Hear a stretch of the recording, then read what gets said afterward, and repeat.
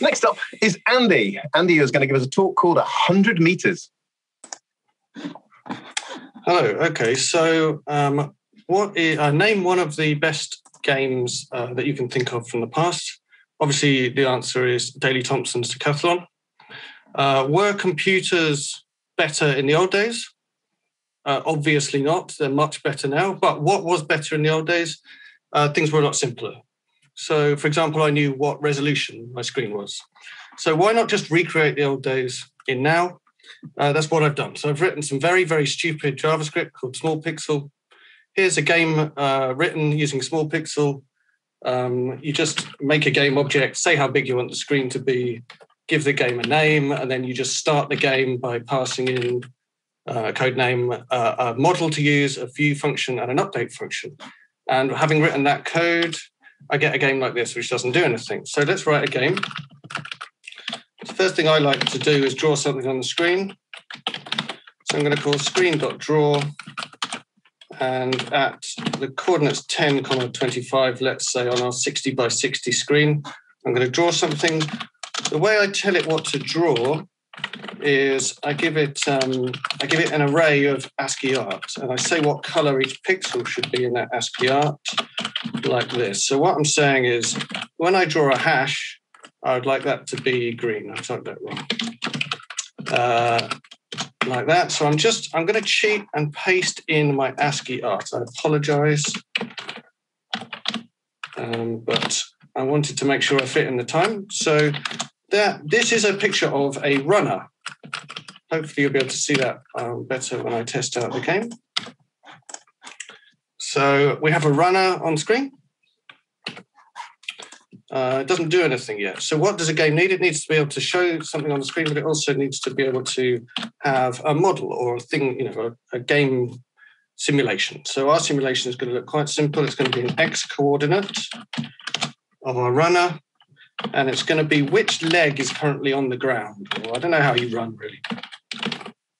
Let's say that. So the left leg is on the ground, and our position uh, is x. So instead of drawing our runner at 10, we're going to draw our runner at 10 plus model.x. And I'm going to go back to my browser and test it out.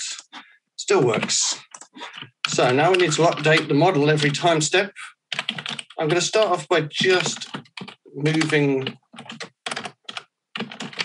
along a bit uh, every time step. Test that out. Did something wrong. Can't type.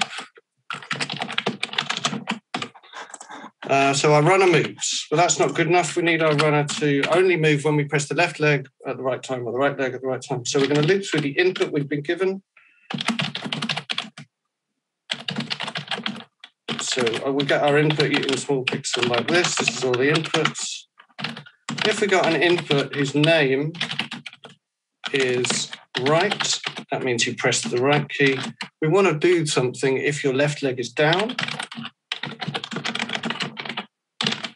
And You pressed right. And similarly, something similar, if you press left and your right leg is down, we want to do something pretty similar. What we want to do is move. Oops. And also we want to update which leg was down. So um, not oops, not great code. I'm going to paste some stuff in there, but hopefully you'll appreciate it. So we're going to test this out. When I press left, uh, right, a lot of times I only move once. If I press left, right, left, right, left, right, left, right, left, right, I move the game is working. One last feature I think we can squeeze in. Can draw just how far along the screen I am if I'm quick.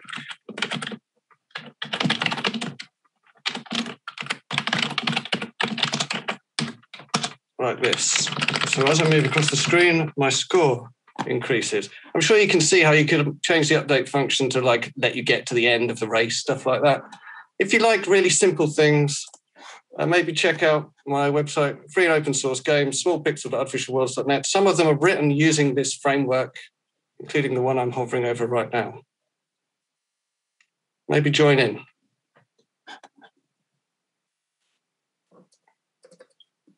Thank you very much, Andy. That is awesome. Single handedly saving the UK gaming industry, one pixel at a time. What's black and shoots at the ground shouting poo? Crude oil.